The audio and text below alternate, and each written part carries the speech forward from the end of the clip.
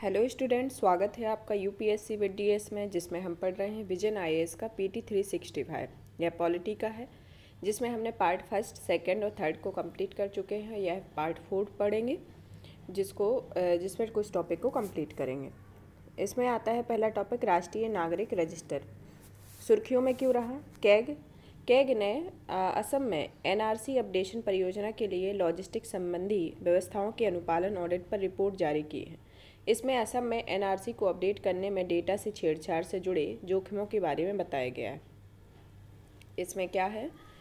क्यों ये सुर्खियों में रहा है? असम में एनआरसी अपडेशन परियोजना के लिए लॉजिस्टिक संबंधी व्यवस्थाओं के संबंध में, जो डेटा से छेड़छाड़ से जुड़े जोखिम के संदर्भ में बताया गया है। एनआरसी क्या है? एनआरसी के बारे में पढ़ेंगे।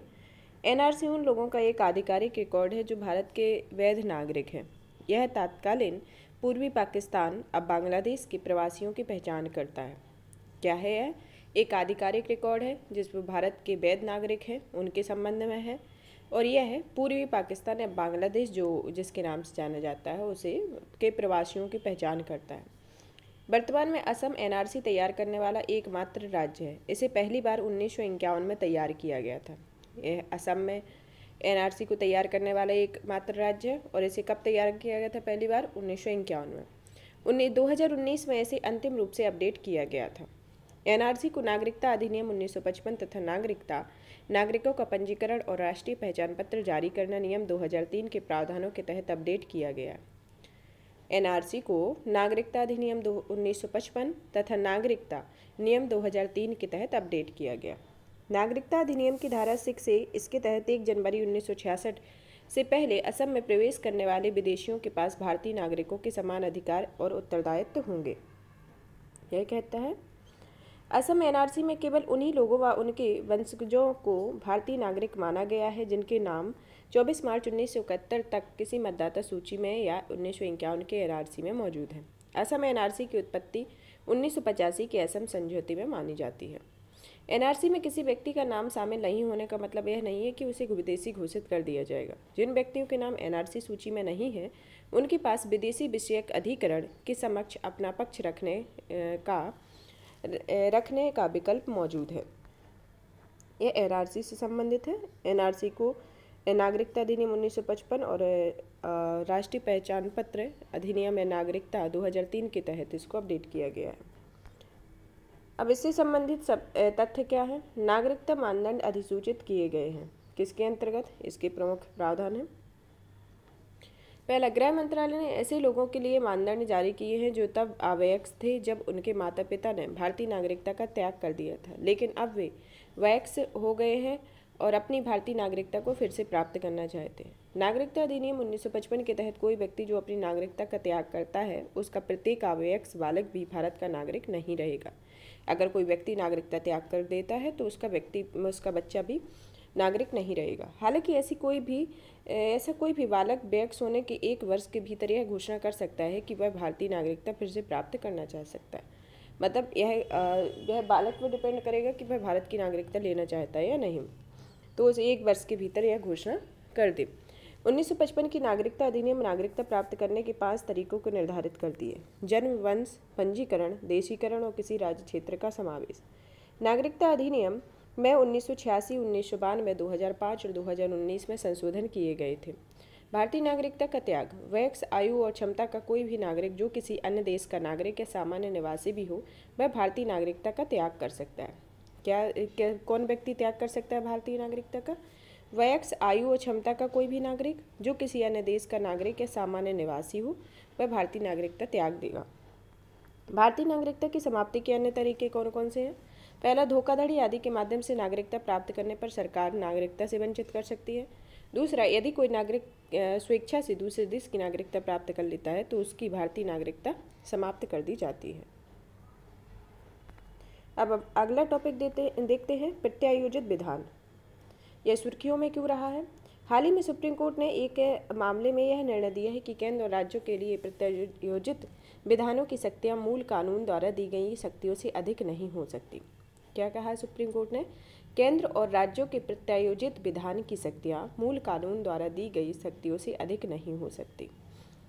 यदि ऐसा होता है तो यह आधिकारिकता है और उन्हें प्रभावी नहीं होने दिया जा सकता। मतलब ये तो प्रत्यायोजित विधान मूल कानून की शक्तियाँ अधिक नहीं हो सकती हैं। दूसरा, अगर ऐसा होता है तो उसे प्रभावी नहीं किया जाएगा। इससे संबंधित तथ्य? सुप्रीम कोर्ट के निर्णय के अनुसार प्रत्यायोजित विधान को मूल कानून के दायरे से बाहर नहीं जाना चाहिए। यदि ऐसा होता है तो यह अधिकारातीत है और इसे प्रभावी नहीं होने दिया जा सकता है। सुप्रीम कोर्ट ने कहा है कि केंद्रीय और राज्य प्राधिकरणों द्वारा कि बनाए गए नियमों या विनियमों सहित प्रत्यायोजित विधान को अपने मूल संसदीय कानून की जगह लेने वाला नहीं, बल्कि उनका पूरक होना चाहिए।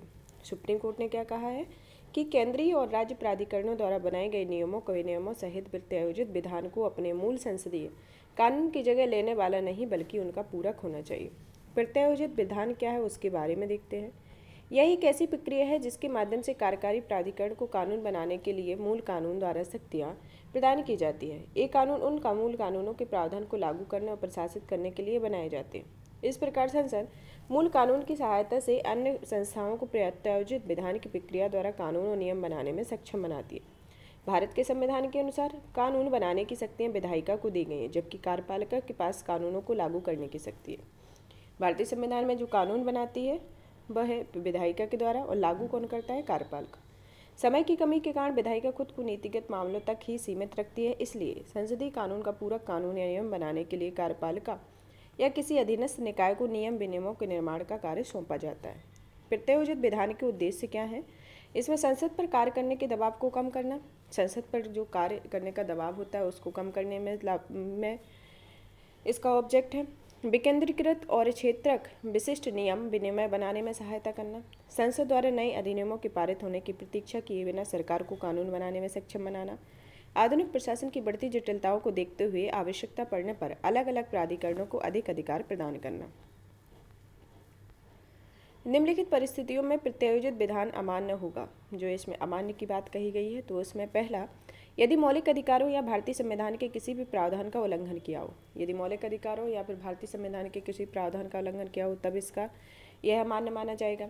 दूसरा, यदि नियम विनिमय मूल अधिनियम के प्रावधानों के दायरे से बाहर है या मूल अधिनियम के मूल प्रावधान के अनुरूप नहीं है, या फिर नियम मूल प्रावधान के दायरे में है या उसके अनुरूप नहीं है। यदि कार्यपालिका के पास उक्त नियम में विनिमय को बनाने की विधायी क्षमता नहीं है, यदि मान, माने और बिना किसी कारण से प्रत्यायोजित विधान का प्रावधान कर दिया गया है, उसे रद्द किया जा सकता है। भूतलक्षी प्रभाव वाले किसी प्रत्यायोजित विधान का प्रावधान नहीं किया जा सकता। यदि मूल अधिनियमों में ऐसा करने का प्रावधान है तो वह मान्य होगा। सुप्रीम कोर्ट ने यह निर्णय दिया है कि विधायिका अपने अनिवार्य विधायिकारियों को कार्यपालिका को नहीं सौंप सकती। यह सुप्रीम कोर्ट का निर्णय है, प्रत्यायोजित विधान के संदर्भ में। अब पढ़ते हैं पंचायतों के संबंध में। पंचायत उपबंध अधिनियम उन्नीस सौ छियानवे। सुर्खियों में क्यों रहा है? छत्तीसगढ़ में विश्व आदिवासी दिवस के अवसर पर। छत्तीसगढ़ में, विश्व आदिवासी दिवस के अवसर पर पंचायत उपबंध, अनुसूचित क्षेत्रों पर विस्तार, अधिनियम उन्नीस या पेशा को लागू करने के लिए नियमों को अधिसूचित किया गया। पेशा के अंतर्गत ग्राम सभाओं की मुख्य शक्तियाँ कौन कौन सी हैं? पहले नंबर तो ये देखते हैं। पहला, भूमि अधिग्रहण के मामलों में अनिवार्य परामर्श की शक्ति, अनुसूचित क्षेत्रों में दूसरे लोगों द्वारा भूमि की खरीद को रोकने और बेची गई या हस्तांतरित भूमि पर पुनः कब्जा दिलाने की शक्ति। दूसरा विकास परियोजनाओं के कारण प्रभावित लोगों के पुनर्वास, पुनर्बहाली और गौण खनिजों हेतु पूर्वेक्षण, लाइसेंस, खनन पट्टे की पूर्व मंजूरी की सकती तीसरा, शराब की बिक्री, खपत को विनियमित और प्रतिबंधित करने। ग्रामीण बाजारों के प्रबंधन एवं अनुसूचित जनजातियों को दिए जाने वाले ऋण को नियंत्रित करने की शक्ति। चौथा, सामाजिक क्षेत्र में कार्यरत तथा स्थानीय योजनाओं से संबंधित संस्थाओं एवं कार्मिकों पर नियंत्रण की शक्ति। पांचवा, लघु जल निकायों के प्रबंधन और गौण वनोपज के स्वामित्व की शक्ति। यह इसके अंतर्गत शक्तियाँ प्रमुख है। इससे पेशा से संबंधित जो अन्य तथ्य हैं, इस कानून से संबंधित, उसको देखते हैं। पेशा नियमों को अधिसूचित करने के साथ ही छत्तीसगढ़ इस प्रकार के नियम बनाने और पेशा कानून को लागू करने वाला देश का सातवां राज्य बन गया है। इससे पहले पेशा अधिनियम को लागू करने वाले राज्य आंध्र प्रदेश, गुजरात, हिमाचल प्रदेश, महाराष्ट्र, राजस्थान, तेलंगाना है। पेशा अधिनियम उन्नीस सौ छियानवे के बारे में पेशा अधिनियम उन्नीस सौ छियानवे को दिलीप सिंह भूरिया समिति की सिफारिशों के आधार पर पारित किया गया था। किस समिति की सिफारिश पर? दिलीप सिंह भूरिया की समिति पर। इसका उद्देश्य जनजातियों का सशक्तिकरण करना और उन्हें मुख्य धारा में लाना है। पंचायती राज मंत्रालय, राज्यों में पेशा अधिनियम के प्रावधानों को लागू करने हेतु एक नोडल मंत्रालय है। पेशा अधिनियम को संविधान के भीतर संविधान कहा गया है। यह अधिनियम संविधान के भाग नौ के प्रावधानों को अनुच्छेद दो सौ एक के अंतर्गत आने वाले दस राज्यों के अनुसूचित क्षेत्रों में लागू करता है। भाग नौ, पंचायतों से संबंधित है। इस संबंध में अनुच्छेद दो एक को अनुसूची पाँच के साथ पढ़ा जाना चाहिए। ये दस राज्य हैं।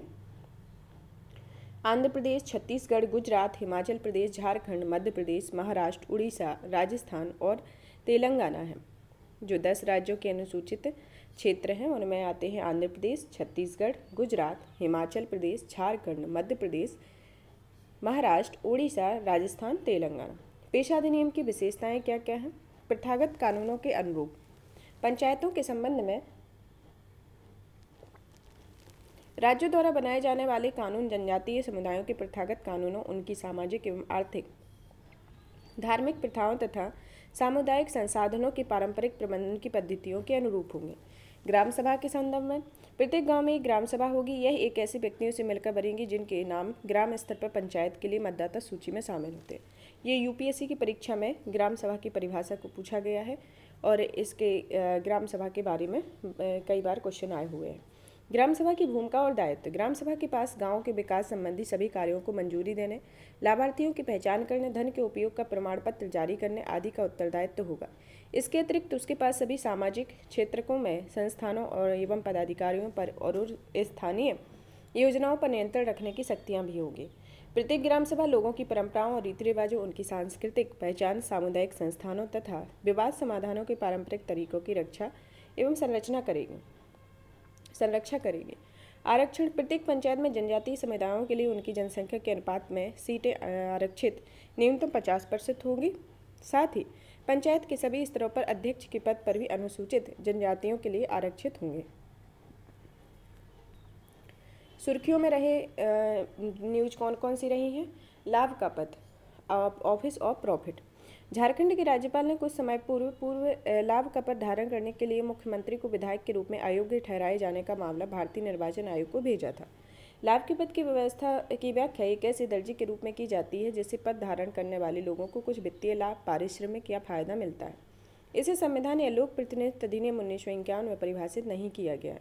संविधान के अनुच्छेद 102 एक और अनुच्छेद एक सौ इक्यानवे एक के तहत क्रमशः सांसद या विधायकों को केंद्र या राज्य सरकार के अधीन लाभ का कोई पद धारण करने से रोका जा सकता है। इन प्रावधानों के तहत केंद्र सरकार या राज्य सरकार के अधीन ऐसे पदों को लाभ का पद नहीं माना गया है, जिन्हें संसद के कानून द्वारा अलाभकारी पद घोषित किया है। लाभ के पद के संबंध में अयोग्यता के निर्धारण का प्रश्न राष्ट्रपति और राज्यपाल को भेजे जाने का प्रावधान है। हालाँकि उन्हें इस मामले में चुनाव आयोग की राय प्राप्त करनी होती है, उसी अनुरूप भी निर्णय लेते हैं। यह लाभ के पद के संदर्भ में है, जो झारखंड के राज्यपाल के संदर्भ में आया हुआ था।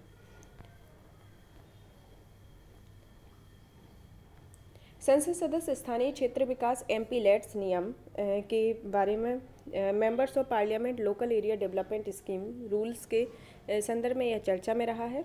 वित्त मंत्रालय ने संसद सदस्य स्थानीय क्षेत्र विकास एमपी लेट्स नियम में संशोधन किया है, संशोधन के संदर्भ में। जिसके तहत एमपी लेट्स निधि पर जमा होने वाले ब्याज को भारत की संचित निधि में जमा किया जाएगा। जो इसमें जमा ब्याज जो जमा होता है वो भारत की संचित निधि में जमा किया जाएगा। इससे पहले इस निधि को अर्जित ब्याज को एमपीलेट्स खाते में जमा किया जाता था। इसका उपयोग विकास परियोजनाओं के लिए किया जाता था। प्रस्तावित संशोधन का उद्देश्य निधियों का समय पर आवंटन और कुशल उपयोग सुनिश्चित करना है।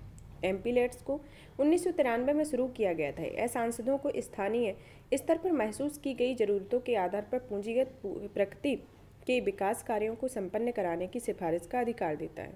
इसके तहत प्रत्येक सांसद को पाँच करोड़ रुपए प्रतिवर्ष की दर से दो दशमलव पाँच करोड़ की रुपए की दो किस्तों में फंड जारी किया जाता है।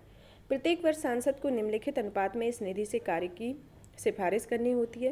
पहला, अनुसूचित जाति या एससी की आबादी वाले क्षेत्रों में एम्पिलेट्स निधि का कम से कम पंद्रह प्रतिशत और अनुसूचित जनजाति की आबादी वाले क्षेत्रों में एम्पिलेट्स निधि का सात दशमलव पाँच प्रतिशत। एम्पीलेट्स के अंतर्गत निधियाँ व्यवगत नहीं होती, इसका उपयोग नहीं होने पर भी निधि वैसी ही रहती है। जिस जिला स्तर पर इस योजना के तहत कार्यों के समग्र समन्वय और पर्यवेक्षण के लिए जिला प्राधिकरण जिम्मेदार हैं। जिला प्राधिकरण को प्रतिवर्ष कार्यान्वयन के तहत कम से कम दस प्रतिशत कार्यों का निरीक्षण करना होता है। योजना के कार्यान्वयन के लिए नीति निर्माण, निधि जारी करने और निगरानी तंत्र निर्धारित करने के लिए सांख्यिकी एवं कार्यक्रम कार्यान्वयन मंत्रालय जिम्मेदार है। यह एम से संबंधित है, जिसमें जो इसका पैसा, पहले इसके खाते में जमा होता है, वह समुचित निधि में जमा किया जाएगा। इससे संबंधित यह चर्चा में रहा है। नेशनल ई विधान एप्लीकेशन। नेशनल ई विधान एप्लीकेशन क्या है? नेशनल ई विधान प्रणाली को भारतीय को नागरिकों और विधानमंडलों के सदस्यों के उपयोग के लिए विकसित किया गया है। या नागरिकों और विधानमंडल के सदस्यों के लिए। इसमें विधायी निकायों से संबंधित कार्यों और डेटा को ऑनलाइन उपलब्ध कराया जाएगा। ई विधान को नेशनल ई विधान एप्लीकेशन के रूप में पुनः नामित किया गया। संसदीय कार्य मंत्रालय ने नेशनल ई विधान को शुरू करने के लिए एक नोडल मंत्रालय है, जिसका लक्ष्य देश की सभी विधायिकाओं को एक मंच पर लाना, ताकि एक विशाल डेटा डिपोजिटरी का निर्माण किया जा सके। यह विभिन्न राज्य विधानसभाओं से संबंधित सूचनाओं को सुव्यवस्थित करने और दिन प्रतिदिन के कामकाज में कागज़ के उपयोग को समाप्त करने में भी मदद करता है। मतलब यह है, इसका मेन उद्देश्य कागज़ के उपयोग को समाप्त करना है। जिलों का निर्माण एवं उत्पादन। हाल ही में पश्चिम बंगाल में सात नए ज़िले बनाए गए। जिलों का निर्माण और विघटन कैसे किया जाता है, इसके बारे में देखते हैं। इस संबंध में संपूर्ण शक्ति राज्य सरकार में निहित होती है। इसकी जो शक्ति होती है, वह राज्य सरकार में निहित होती है। राज्य सरकार विधानसभा में एक कानून पारित कर या केवल एक आदेश जारी कर नए ज़िले का निर्माण या विघटन कर सकती है। इसकी अधिसूचना को राजपत्र में अधिसूचित किया जाता है। इस मामले में केंद्र सरकार की कोई भूमिका नहीं होती। हालाँकि, किसी ज़िले या रेलवे स्टेशन के नाम परिवर्तन करने के लिए केंद्र सरकार की अनुमति आवश्यक होती है।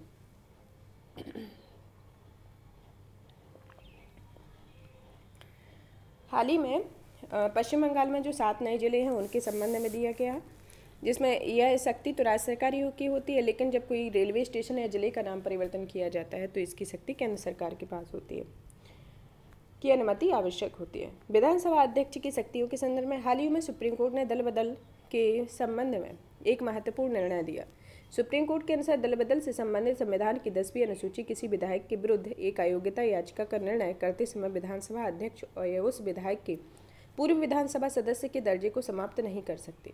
2014 में बिहार विधानसभा अध्यक्ष ने दसवीं अनुसूची के तहत न केवल कुछ विधायिकाओं को अयोग्य घोषित कर दिया, बल्कि उनके पूर्व विधायक का दर्जा भी समाप्त कर दिया था। इस प्रकार उन्हें पेंशन और अन्य लाभों से वंचित कर दिया गया था। तो होलोनन, बनाम, जलयूहू और अन्य उन्नीस सौ बानबे बाद में सुप्रीम कोर्ट ने निर्णय दिया था कि दसवीं अनुसूची के तहत अध्यक्ष की शक्ति का न्यायिक पुनरावलोकन के अधीन है। राजभाषा पर संसदीय समिति, committee of the parliament on official language. हाल ही में इस समिति ने अपनी रिपोर्ट प्रस्तुत की। इस समिति का गठन उन्नीस में राजभाषा अधिनियम उन्नीस के तहत किया गया। इसका गठन गृह मंत्रालय करता है, केंद्रीय गृह मंत्री इसकी अध्यक्षता करता है। यह समिति राष्ट्रपति के समक्ष अपनी रिपोर्ट प्रस्तुत करती है। सौंपे गए आदेश या कार्य, आधिकारिक उद्देश्यों के लिए हिंदी के उपयोग में हुई प्रगति की समीक्षा करना साथ ही आधिकारिक संचार में हिंदी के उपयोग को बढ़ावा देने के लिए सिफारिश करना है। पूर्वोत्तर परिषद के संदर्भ में प्रधानमंत्री ने पूर्वोत्तर परिषद के संदर्भ में 50 वर्ष पूरे होने पर पूर्वोत्तर के विकास के लिए आठ स्तंभों पर कार्य करने पर बल दिया है। ये स्तंभ शांति, विद्युत पर्यटन 5G कनेक्टिविटी, संस्कृति, प्राकृतिक कृषि, खेल और क्षमता का निर्माण करती है। पूर्वोत्तर परिषद क्या है? इसकी स्थापना संसद द्वारा पूर्वोत्तर परिषद अधिनियम उन्नीस सौ इकहत्तर में की गई थी। यह संवैधानिक सलाहकारी निकाय है। नियंत्रक निकाय यह परिषद पूर्वोत्तर क्षेत्र विकास मंत्रालय के प्रशासनिक नियंत्रण में काम करता है। संरचना केंद्रीय गृह मंत्रालय, एनईसी, का पदेन अध्यक्ष होता है। इसमें आठ राज्य, अरुणाचल प्रदेश, असम, मणिपुर, मेघालय मिजोरम नागालैंड, सिक्किम और त्रिपुरा शामिल है। कार्य, पूर्वोत्तर राज्यों के बीच सहयोग और समन्वय को बढ़ावा देना, पूर्वोत्तर राज्यों के बीच अंतर्राज्यीय विवादों के समाधान के लिए एक मंच प्रदान करना है। प्रधानमंत्री ने त्रिपुरा में प्रधानमंत्री आवास योजना के तहत दो लाख से अधिक लाभार्थियों के लिए गृह प्रवेश कार्यक्रम का उद्घाटन किया है। ये पचास वर्ष पूरे के होने के संदर्भ में आठ स्तंभों के बारे में प्रधानमंत्री के द्वारा चर्चा की गई है। क्षेत्रीय परिषद, पूर्व क्षेत्रीय परिषद की बैठक कोलकाता में आयोजित की गई है। पूर्वी क्षेत्रीय परिषद की बैठक कोलकाता में आयोजित की गई है। इसमें बिहार, उड़ीसा, पश्चिम बंगाल और झारखंड आदि राज्य शामिल हैं। अन्य क्षेत्रीय परिषदें उत्तरी क्षेत्रीय परिषद में हिमाचल प्रदेश, जम्मू कश्मीर पंजाब, राजस्थान, राष्ट्रीय राजधानी क्षेत्र दिल्ली, केंद्र शासित प्रदेश चंडीगढ़ आते हैं। मध्य क्षेत्रीय परिषद में छत्तीसगढ़, उत्तराखंड, उत्तर प्रदेश, मध्य प्रदेश आते हैं। पश्चिमी क्षेत्रीय परिषद गोवा गुजरात, महाराष्ट्र, केंद्र शासित प्रदेश दमन दीप दादरा एवं नागर हवेली, दक्षिणी क्षेत्रीय परिषद के अंतर्गत आंध्र प्रदेश, कर्नाटक, केरल, तमिलनाडु और केंद्र शासित प्रदेश पुदुचेरी आते हैं। पूर्वी क्षेत्रीय परिषद की बैठक कहाँ इस बार आयोजित की गई? कोलकाता में। जो पूर्वी क्षेत्रीय परिषद में कौन कौन से राज्य आते हैं? बिहार, उड़ीसा, पश्चिम बंगाल और झारखंड आते हैं। इनमें उत्तरी क्षेत्रीय परिषद है, मध्य क्षेत्रीय परिषद, पश्चिमी क्षेत्रीय परिषद और दक्षिणी क्षेत्रीय परिषद। क्षेत्रीय परिषद क्या होती है? क्षेत्रीय परिषद की स्थापना कहाँ की जाती है? संसद द्वारा, राज्य पुनर्गठन अधिनियम, उन्नीस सौ छप्पन द्वारा इसकी स्थापना की गई। इसका अध्यक्ष केंद्रीय गृह मंत्री होते हैं और सदस्य प्रत्येक राज्य के मुख्यमंत्री और राज्यपाल द्वारा नामक दो अन्य मंत्री और उस जोन में शामिल केंद्र शासित प्रदेशों के दो सदस्य होते हैं। कार्य, निम्नलिखित के संबंध में चर्चा करना और सिफारिश देना होता है। पहला, आर्थिक और सामाजिक योजना के क्षेत्र में साझे हित का कोई मामला, सीमा विवाद, भाषाई अल्पसंख्यकों या अंतर्राज्यीय परिवहन से संबंधित कोई भी मामला, राज्य पुनर्गठन अधिनियम के तहत राज्यों के पुनर्गठन से संबंधित या उत्पन्न होने वाला कोई मामला। यह संवैधानिक या संवैधानिक निकाय है। अब आते हैं, इसका तीसरा टॉपिक है, केंद्र राज्य संबंध, जिसमें तीसरे में पहला टॉपिक है, सातवीं अनुसूची में सुधार। हाल ही में कई विशेषज्ञों ने भारतीय संविधान की सातवीं अनुसूची पर पुनर्विचार करने का समर्थन किया है। सातवीं अनुसूची के बारे में? संविधान के अनुच्छेद 246 के तहत सातवीं अनुसूची केंद्र राज्य सरकारों के मध्य शक्तियों के उत्तरदायित्व का विभाजन करती है।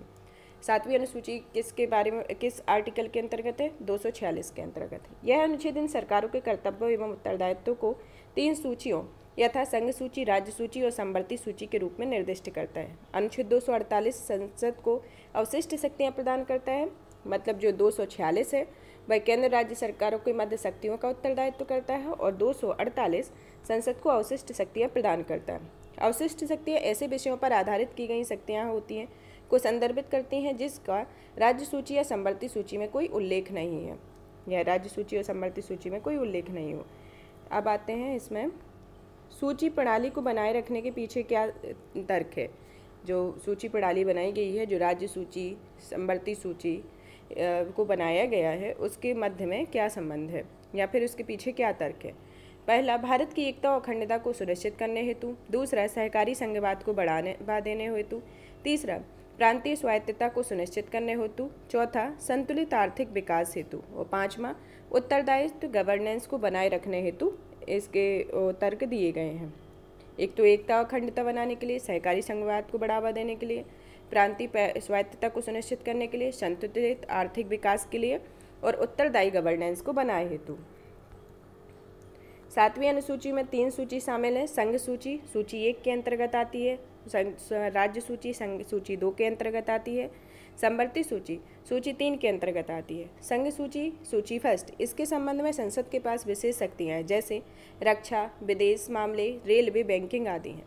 संघ सूची के अंतर्गत सौ विषय हैं। मूल रूप से ये संतानवे थे, जो अभी प्रेजेंट में सौ है। सूची सेकेंड राज्य सूची, इसके संबंध में राज्य विधानमंडलों के पास विशेष शक्ति है, जैसे लोक व्यवस्था, पुलिस, लोक स्वास्थ्य एवं स्वच्छता, दाव और जुआ आदि। राज्य सूची इकसठ विषय शामिल हैं। मूल रूप से इसमें छियासठ थे। पहले जब सूचियों को बनाया गया था, तब इसमें छियासठ विषय थे और वर्तमान में इकसठ हैं। सूची थर्ड या संवर्ती सूची, इसके संबंध में संसद और राज्य विधानमंडल दोनों को शामिल की शक्तियाँ हैं। जैसे शिक्षा, जनसंख्या नियंत्रण एवं परिवार नियोजन, आपराधिक कानून वन्य जीवों और जानवरों सुरक्षा आदि, वन आदि हैं। समवर्ती सूची में वर्तमान में बावन विषय हैं और इसमें मूल रूप से सैंतालीस विषय से, विषय थे। सातवीं अनुसूची में संशोधन, सातवीं अनुसूची में संशोधन की प्रक्रिया। सबसे इसमें संविधान के भाग 20 के अंतर्गत अनुच्छेद तीन सौ अड़सठ में दी गई प्रक्रिया के अनुसार संशोधन किया जा सकता है। इसके लिए संसद के विशेष बहुमत अर्थात सदन के कुल सदस्यों का बहुमत और सदन में उपस्थित तथा मतदान करने वाले सदस्यों के कम से कम दो तिहाई बहुमत की आवश्यकता होती है। साथ ही साधारण बहुमत के आधार पर आधे राज्यों की विधानसभाओं की सहमति की भी आवश्यकता होती है। संशोधन किसके तहत किया जाएगा? संविधान के भाग 20 के के अनुच्छेद तीन सौ अड़सठ के तहत। अन्य प्रावधान जिन्हें इस प्रक्रिया द्वारा संशोधित किया जाता है, राष्ट्रपति का निर्वाचन और उसकी विधि, संघ और राज्य राज्यों की कार्यकारी शक्ति का विस्तार, सुप्रीम कोर्ट और हाई कोर्ट के द्वारा, संसद में राज्यों का प्रतिनिधित्व के कारण और संविधान का संशोधन करने की संसद की शक्ति, उसकी प्रक्रिया जो स्वयं तीन सौ अड़सठ में दी गई है। सातवीं अनुसूची का विकास कब हुआ, इसकी संरचना देख लेते हैं।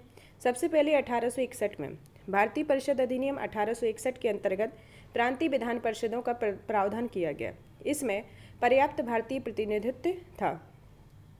अठारह सौ में, अठारह में लॉर्ड रिपिन के प्रस्ताव ने निर्वाचित नगरपालिका परिषदों और ग्रामीण जिला बोर्डों की शुरुआत की। 1909 में, भारतीय सरकार अधिनियम 1909 में ने प्रांतीय परिषदों को और अधिकार प्रदान करने किए थे, इससे भारतीय प्रतिनिधित्व में वृद्धि हुई।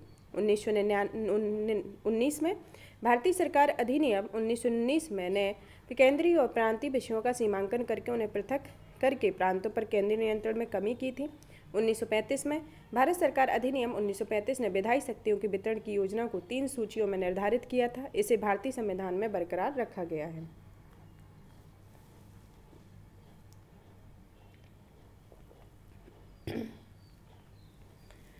सतलुज यमुना लिंक नहर। ये सुर्खियों में क्यों रही? हरियाणा व पंजाब राबी तथा व्यास नदियों के जल बंटवारे पर किसी भी समझौते पर पहुँचने में विफल रहे हैं।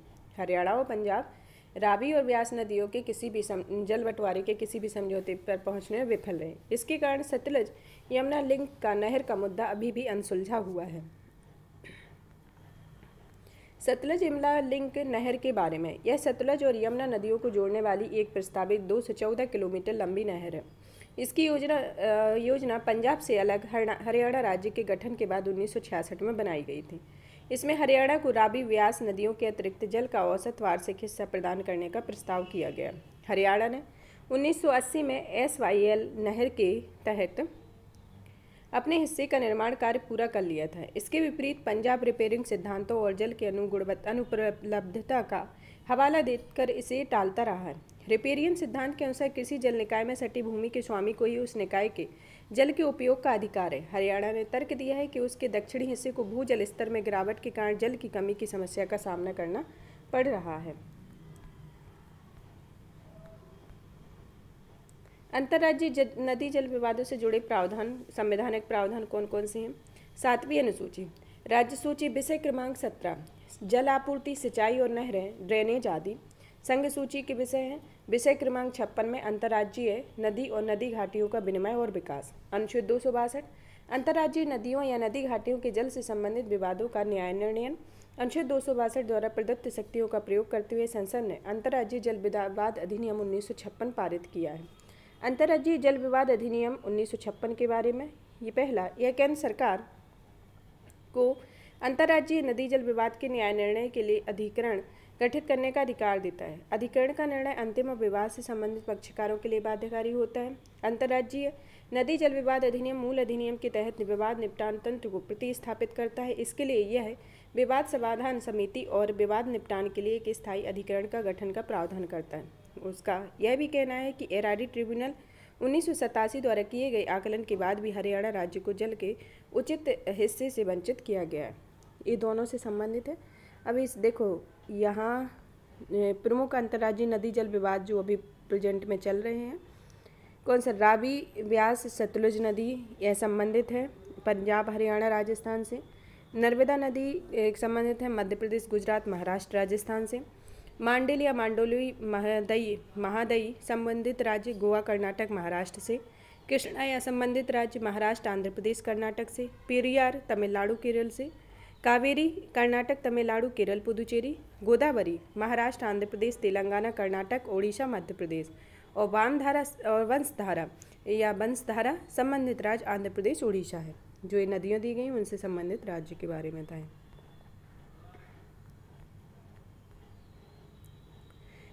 अन्य सुर्खियों में रही, संविधान की नौवीं अनुसूची। झारखंड विधानसभा में रिक्त सरकारी पदों और सेवाओं के आरक्षण को बढ़ाकर सतहत्तर परसेंट करने के संबंध में एक विधेयक को मंजूरी दी है। हालाँकि राज्य सरकार ने कहा है कि यह विधेयक तब लागू होगा जब केंद्र सरकार इसे नौवीं अनुसूची में शामिल कर देगी। नौवीं अनुसूची को प्रथम संविधान संशोधन उन्नीस सौ इक्यावन द्वारा संविधान में जोड़ा गया था। इसके पीछे का उद्देश्य कुछ कानूनों को मौलिक अधिकारों के उल्लंघन के आधार पर न्यायिक समीक्षा से बाहर रखना था। हालाँकि आई आर कोहेलो बनाम तमिलनाडु राज्य मामले में सुप्रीम कोर्ट ने अपने निर्णय में कहा था कि उन्नीस सौ तिहत्तर के बाद नौवीं अनुसूची में शामिल किए गए कानून मूल ढांचे की अवधारणा के तहत न्यायिक समीक्षा के अधीन होंगे। ये नौवीं अनुसूची क्यों आई इसमें? क्योंकि झारखंड विधानसभा ने रिक्त सरकारी पदों और सेवाओं के आरक्षण को बढ़ाकर सतहत्तर परसेंट करने के संबंध में विधेयक प्रस्तुत किया था। Armed forces special power act, गृह मंत्रालय ने असम में नागालैंड और मणिपुर के कुछ हिस्सों में arm forces special powers act को हटा दिया है। इन राज्यों में सुरक्षा और कानून व्यवस्था की स्थिति में सुधार की वजह से कुछ क्षेत्रों में आस्था को हटाया गया है। ये जो काफ़ी समय से लगा हुआ था, उसमें सुधार की वजह से इसको हटा दिया गया है। इस घोषणा के बाद अब इन तीन राज्यों के कुछ हिस्सों में अस्फा लागू रहेगा। इसके अलावा अभी अरुणाचल प्रदेश के कुछ हिस्सों तथा जम्मू कश्मीर में अस्फा लागू है। इसके बारे में यह कानून अशांत क्षेत्रों में कानून व्यवस्था को बहाल करने के लिए सशस्त्र बलों को अस्फा अधिनियम की धारा चार के तहत विशेष शक्तियाँ तथा धारा छः के अंतर्गत उन्मुक्तियाँ प्रदान करता है। कई बार किसी राज्य केंद्र शासित प्रदेश का पूरा भाग या कोई भाग या हिस्सा उपद्रव के चल के ऐसी स्थिति में पहुँच जाता है कि वहाँ कानून व्यवस्था बनाए रखना मुश्किल हो जाता है। ऐसे में, जब सिविल प्रशासन की सहायता के लिए सशस्त्र बलों का उपयोग करना आवश्यक हो जाता है, तब वहाँ अफसर की घोषणा की जाती है। यह अधिनियम उन्नीस की धारा तीन के तहत किसी राज्य या उसके क्षेत्र को आसान क्षेत्र घोषित किया जाता है। आसान क्षेत्र की घोषणा राज्य के राज्यपाल और केंद्र शासित प्रदेश के प्रशासक या केंद्र सरकार द्वारा की जाती है। बसपा के संदर्भ में इसमें क्या है? क्योंकि जहाँ लगा हुआ तो इन राज्यों में सुधार की संभावना बड़ी है। अंतर्राज्य परिषद के बारे में हाल ही में केंद्र सरकार ने अंतर्राज्य परिषद का पुनर्गठन किया है। अंतर्राज्यीय परिषद के संदर्भ में भारतीय संविधान के अनुसार राष्ट्रपति अनुच्छेद दो के तहत ऐसी परिषद की स्थापना कर सकती है। साथ ही यह राष्ट्रपति को ऐसी परिषद द्वारा निष्पादित किए जाने वाले कर्तव्यों की प्रकृति को परिभाषित करने का अधिकार भी देती है। 1990 में सरकारी आयोग की सिफारिश के आधार पर आईसीएससी को गठन किया गया था। यह क्या है इसके बारे में देखते हैं। इसका गठन संविधान के अनुच्छेद दो के तहत राष्ट्रपति के गृह मंत्रालय के अधीन ऐसी परिषद की स्थापना कर सकता है। यह गैर स्थायी संवैधानिक निकाय है। जो अनुच्छेद दो के अंतर्गत आता है, इसकी संरचना में इसका अध्यक्ष प्रधानमंत्री होते हैं, जबकि सभी राज्यों के मुख्यमंत्री और छह केंद्रीय मंत्री इसके सदस्य होते हैं। जिन केंद्र शासित प्रदेशों में विधानसभाएँ उनके मुख्यमंत्री तथा विधानसभा रहित केंद्र शासित प्रदेशों के प्रशासक भी इसके सदस्य होते हैं। स्थायी समिति का अध्यक्ष केंद्रीय गृह मंत्री होते हैं और इनके आमंत्रित सदस्यों के दस केंद्रीय मंत्री होते हैं। इनके कार्य राज्यों के बीच विवादों की जाँच करना उन्हें सलाह देना एवं दूसरा उन विषयों की जाँच और उन पर चर्चा करना जिनमें दो राज्यों अथवा राज्यों के संघ के समान साझे हित शामिल हैं। नीति और कार्रवाइयों के बीच बेहतर समन्वय के लिए सिफारिशें करना है। भारत ना, नागा युद्ध विराम समझौते के पच्चीस बार भारत सरकार और national socialist council of Nagaland के बीच युद्ध विराम समझौता एक अगस्त उन्नीस में प्रभावी हुआ था। कई दौर की वार्ता के बाद 2015 में national socialist council of Nagaland Isak Muivah के साथ एक फ्रेमवर्क एग्रीमेंट पर हस्ताक्षर किए गए थे। हालाँकि, नागा ध्वज और एह जाबो नागा संविधान पर दोनों पक्षों के बीच सहमति के कारण अस्पष्ट रूप से शांति प्रक्रिया आगे बढ़ने में विफल रही। N S C N I M ने यह ज़ोर देकर कहा है कि दोनों विषयों को फ्रेमवर्क समझौते में शामिल किया गया था। इसका अगला पॉइंट है, अंतरण पश्चात राजस्व घाटा पोस्ट डेवल्यूशन रेवेन्यू डेफिसिट अनुदान। वित्त मंत्रालय के व्यय विभाग ने चौदह राज्यों को पोस्ट डेवल्यूशन रेवेन्यू डेफिसिट अनुदान की सातवीं मासिक मासिक किस्त जारी की है। संविधान के अनुच्छेद 275 के तहत राज्यों को पीडीआरडी प्रदान किया जाता है। यह किस आर्टिकल के तहत? अनुच्छेद दो सौ पचहत्तर के तहत। कितने राज्यों को दी गई है? चौदह राज्यों को यह कौन सी किस्त है सातवीं। राज्यों को यह अनुदान राशि क्रमिक वित्त आयोगों की सिफारिशों के अनुसार जारी की जाती है। इसका उद्देश्य अंतरण पश्चात राज्यों के राजस्व खाते में अंतर को पूरा करना है। इस अनुदान को प्राप्त करने की राज्यों की पात्रता और 2020-21 से 2025-26 की अवधि के लिए अनुदान की मात्रा का निर्धारण पंद्रहवें वित्त आयोग ने किया है। स्वायत्त जिला परिषदें स्वायत्त जिला परिषदों के बारे में मेघालय ने सीमा विवाद के निपटारे के लिए असम के साथ एक समझौता किया है। मेघालय की खासी हिल स्वायत्त स्वायत्त जिला परिषद इस समझौते का विरोध कर रही है। स्वायत्त जिला परिषदें क्या होती हैं? इसकी स्थापना छठवीं अनुसूची के तहत की गई। इसमें कुछ कार्यकारी विधायी और न्यायिक शक्तियाँ भी दी गई हैं। छठी अनुसूची में असम, मेघालय, त्रिपुरा, मिजोरम के जनजातीय क्षेत्रों के प्रशासन के संबंध में प्रावधान किए गए हैं। वर्तमान में असम, मेघालय, त्रिपुरा, मिजोरम में दस ऑटोनॉमस डिस्ट्रिक्ट काउंसिल शामिल हैं। संरचना में प्रत्येक एडीसी ने कम से कम तीस सदस्य होने चाहिए। इनमें से चार राज्यपाल द्वारा मनोनीत किए जाते हैं और छब्बीस वैक्स मताधिकार के ज़रिए चुने जाते हैं। इनका कार्यकाल पाँच वर्ष का होता है। इसकी शक्तियाँ कौन कौन सी हैं? पहला, राज्यपाल को स्वायत्त जिलों के क्षेत्रों का विस्तार करने उन्हें घटाने या उनके नामों को बदलने का अधिकार। दूसरा, परिषदों को दीवानी और आपराधिक मामले में न्यायिक शक्तियाँ प्रदान की गई हैं। तीसरा, इन परिषदों का क्षेत्राधिकार संबंधित उच्च न्यायालय के क्षेत्राधिकार के अधीन होता है। अब देखते महाजन आयोग। महाजन आयोग क्या है? 1966 में केंद्र सरकार ने महाराष्ट्र, कर्नाटक, केरल में सीमा विवाद को हल करने के लिए महाजन आयोग की स्थापना की है। आयोग ने दो गाँवों को महाराष्ट्र में स्थानांतरित करने और तथा बेलगावी, पुराना नाम बेलगांव और दो गाँवों के कर्नाटक में बने रहने की सिफारिश की थी। महाराष्ट्र ने आयोग की सिफारिश को अस्वीकार कर दिया था। साथ ही उन्होंने 2004 से में संविधान के अनुच्छेद 131 के तहत राज्य पुनर्गठन अधिनियम उन्नीस को को सुप्रीम कोर्ट ने चुनौती दी। बेलगामी कर्नाटक वर्तमान में कर्नाटक का हिस्सा है। हमने इन टॉपिक को कवर किया। जो हमने पार्ट फ़र्स्ट सेकंड थर्ड और फोर्थ पार्ट में कवर अप किया गया है। और भी आगे के पार्ट में इन सबको कवर करेंगे। और भी इसी तरीके की वीडियो को देखने के लिए चैनल को लाइक करें सब्सक्राइब करें शेयर करें। धन्यवाद।